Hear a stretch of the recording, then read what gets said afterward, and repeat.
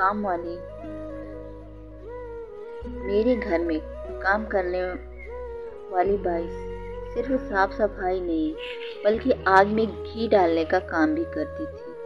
ऐसा इसलिए क्योंकि जब भी मैं और मेरी बेबी किसी बात पर झगड़ते हैं तो वह बीच में कूद पड़ती और मेरी बेबी का सपोर्ट करती। ऐसे में दीदी आप सही कर रही हो सुनकर हर बार मेरी पत्नी और कॉन्फिडेंट होकर मुझसे लड़ाई करती है।